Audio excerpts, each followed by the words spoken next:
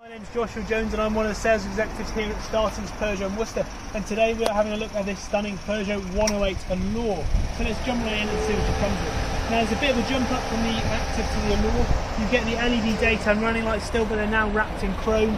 You've got the fog lamps at the front and cornering lights as well as the LED main lights up here.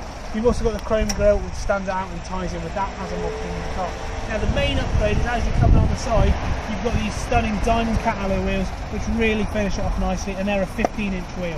Then as we carry on around, this car is complemented with a beautiful red and black theme. We've got black wing mirror, uh, wing mirror covers and black roof as well, which really ties in nicely. Um, then as we open up, this is the five door, so more desirable, and she's only done 8,200 miles, so really low mileage.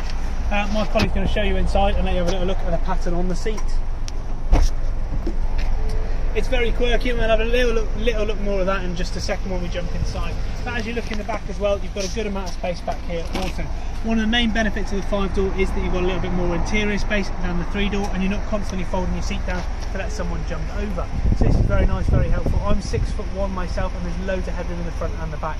And I'll show you me sat in there in just a second. But before I do, let's take a look at the boot. So as you come around, you've got metal back seats, so when you fold them down, we get a really nice flat load space here, um, which is easily wiped clean by having those metal seats. Then uh, we've got the floor here. Again, it's quite a deep boot space, so actually it's quite useful because it stops you shopping from banging around. And you've got little hooks on the side to hook bags on as well, so they don't go flying. So let's hop inside, have a look at the space, and then we'll have a look at the technology.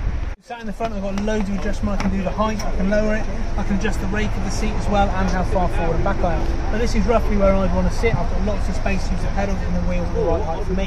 So I'm going to hop in the back now and show you what kind of space I get as well. So let's open it up and have a little look.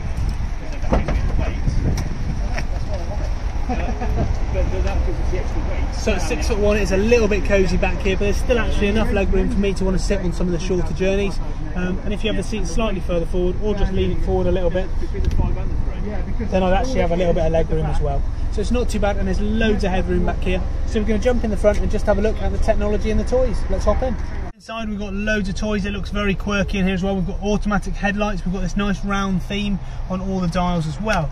Uh, you've got air conditioning. You've also got start stop on the engine, and you've got uh, the push to start button. Sorry.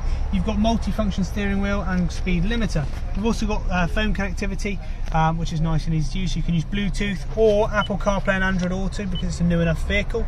Uh, you've also got a reversing camera, so if you pop it in reverse, you can see where you're going, which is nice and helpful.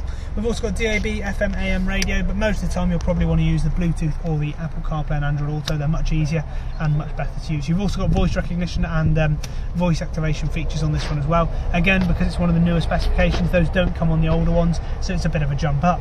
But to, to test drive this fantastic vehicle, just give us a call. My name is Joshua Jones and call me on 01905 820 777. Stay classy.